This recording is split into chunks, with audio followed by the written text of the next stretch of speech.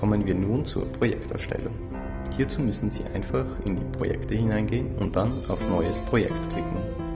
Jedes Projekt kann, wie Sie sehen, in unterschiedlichen Phasen sein. Diese Phasen können Sie natürlich selbst verwalten. Hier können Sie als allererstes einmal einen Projekttitel vergeben, danach Kontakte hinzufügen, die sich auf dieses Projekt beziehen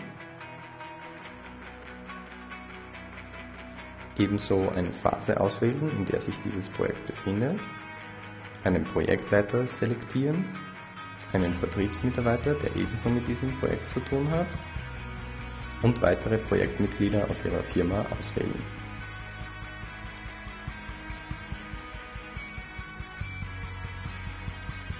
In der Projektbeschreibung sollten Sie Ihr Projekt in wenigen Worten umreißen.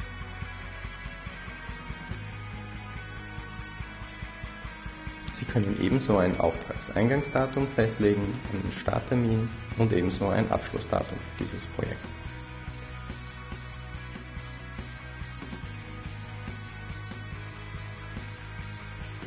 Ebenso können Sie in diesem Bereich auch noch kaufmännische Informationen eingeben.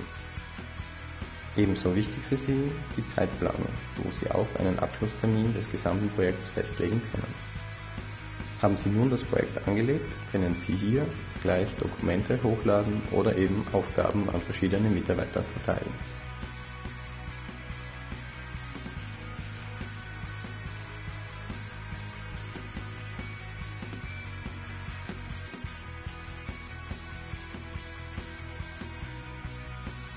Hier müssen Sie nur kurz eine Bezeichnung der Aufgabe eintippen. Danach folgt eine kurze Beschreibung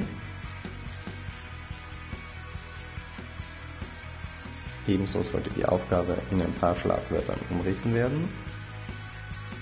Zu guter Letzt weisen Sie die Aufgabe dann einem Projektmitarbeiter zu.